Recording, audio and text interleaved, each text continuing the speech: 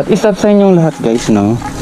So bali tayo ano hindi tayo mag-proceed sa ating topic for today is mag-subscribe muna kayo sa ating channel para lagi kayong updated sa ating mga vlogs na i-upload. So yan guys bali ang share ko sa inyo ngayon is itong ating nabiling ano, case para sa ating GoPro so itong case na to guys is ginagamit na ng mga sikat na vlogger dito sa Pilipinas. Kaya ito yung nabili natin kasi maganda siya pang moto vlogs. Yun kung makikita nyo dyan sa video is ito yung nabili nating case guys. Yan. Ang ulan si case. So yan yung bubuo sa ating ano, moto vlogging setup. So bali may kulang pa yung ating ano guys ating moto vlogging setup. So bali wa ano yan, may may lalagyan na kasi kasi siya ng yan yung ating external mic para dito sa ating GoPro. May lalagyan na siya diyan sa baba. Kaya ito yung nabili natin. So nabili natin siya sa halagang 367. So ilalagay ko na lang sa description box guys kung kung interesado kayo na bilhin yung ganitong product. So hindi ito sponsor guys ha. Binili natin to para dito sa ating action cam.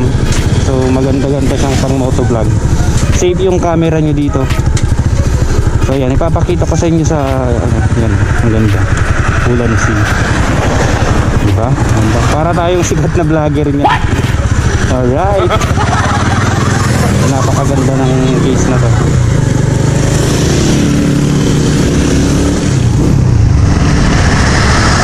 So bali ito yung sa atin nating case guys. Oh, ayan. Nakalagay na dito. Yung ating skeleton case. So ito yung ito na yung gamit natin ngayon yung ulan C.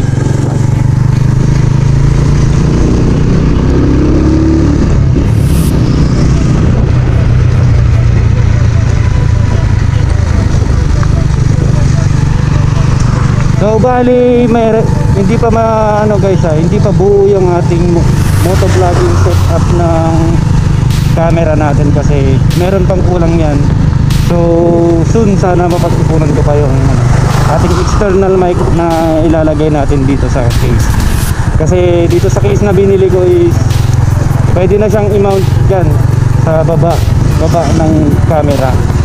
Yung ating bibilhin na ano, mic adapter para dito sa ating GoPro. So pag-iipunan ko muna kasi masyadong ano mahal. Hindi pa kaya ng budget natin guys. So nag-message na ako dyan sa ano memory.ph. So shoutout sa memory.ph. Nag-canvas na ako sa kanila. So nag-PM sila sa akin kung paano ma-ship yung product.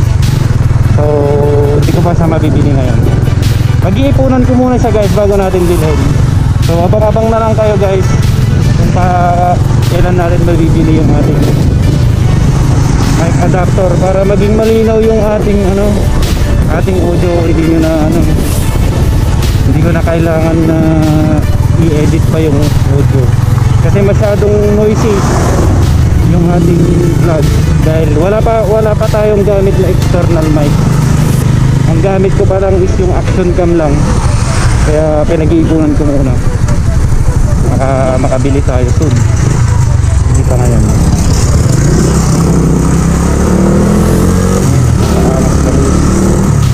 alright so yun lang naman guys yung gusto kong i-share sa inyo.